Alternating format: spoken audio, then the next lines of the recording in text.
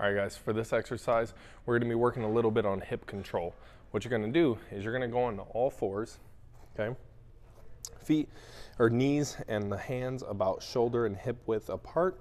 And what you'll wanna do is whichever side you wanna do first, you're gonna bring that leg out to the side, okay? You want that leg to be completely straight. Don't let that knee be bent. And you also want your back to be straight. It shouldn't be all twisted and, you know, lopsided or whatever the case might be.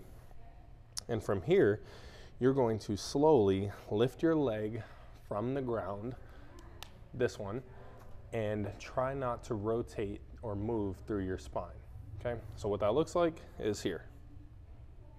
A little lift, hold it, and then come back down. If you're listening close, you can probably hear me struggling a little bit with that, right? You're gonna try it out on both sides. Same thing, make sure that you're not really moving through the back. And then slow control on the way down. Try it out about five to seven times on each side. Hold it for about three to five seconds and uh, see how hard it is side to side. You might notice some differences. Uh, if there's big differences, might be something you really want to work on. All right, so try it out. Let me know if there's any issues. Be happy to help you out. Contact us or drop it in the comments, and we'll be sure to get back to you.